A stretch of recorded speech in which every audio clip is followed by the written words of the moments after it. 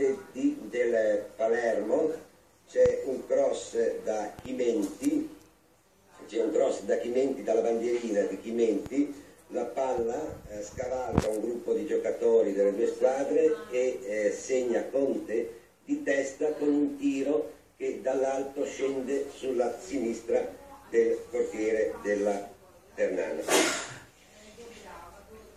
Ecco.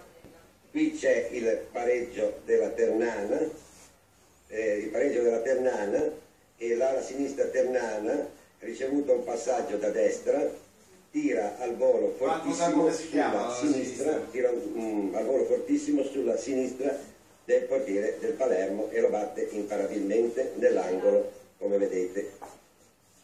Ecco. Qui abbiamo concluso da Genova